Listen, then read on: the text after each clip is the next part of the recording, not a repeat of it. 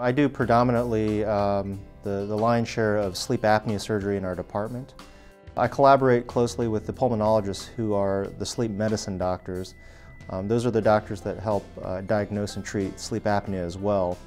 If those patients fail their, uh, their medical or their conservative therapy, uh, that's typically when they get sent to, to see me for surgical considerations to, to look at potential cures for their apnea. It's not uncommon for me to see a lot of patients for, uh, who come in for snoring complaints and um, you know, are wondering whether or not they have sleep apnea. So sleep apnea is a condition where you actually stop breathing at night. Snoring is somewhere on that spectrum towards the more mild, uh, you know, milder end of that spectrum. But you know, really the only way to determine if you have sleep apnea, the gold standard of testing is really getting a sleep study. And that's an overnight monitored study where patients um, you know, sleep in a, in a room that's similar to a hotel room, but they're being uh, monitored and they're hooked up you know, for sound, so to speak, with uh, different monitors and cables on them. Um, and that's really our best uh, test to diagnose sleep apnea.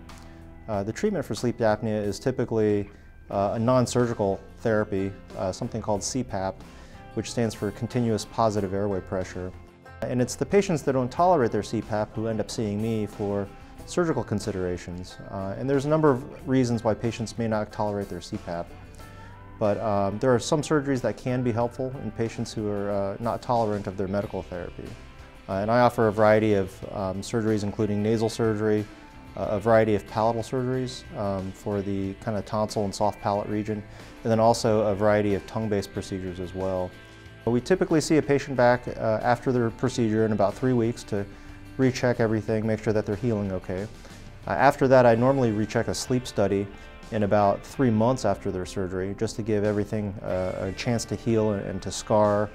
Um, and we you know, make further recommendations based on the results of their follow-up sleep study after their surgery. We're exploring the, uh, a new technology now, which is actually a, a nerve stimulator for sleep apnea.